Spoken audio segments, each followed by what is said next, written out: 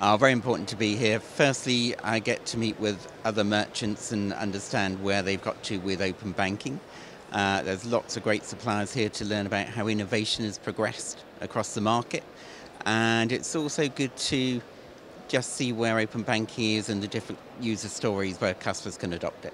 I would say it's a great opportunity for merchants to understand where open banking is in the payment industry. It's great for providers of that service to kind of compare notes on where they are with, the, with that in the market. Um, and it's also good to understand where open banking has been adopted in the UK and where the challenges still, still are, are outstanding.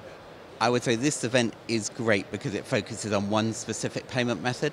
Uh, if you go to other events, it's very generic, uh, whereas here you can find out exactly where open banking is, not just from who's using it, who's providing it, but where we are in the compliance world and what consumer protection might look like in the future. So, so it is very future looking or forward thinking, uh, and that's why it's great to be at this particular event.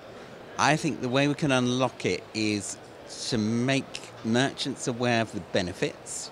Uh, that's one of the key ones. Where, where can the consumer adopt it in a very user story case? So, for example, bill payment, pay my credit card, the one off ones I think are fairly well established, particularly with the HMRC initiating it some time back.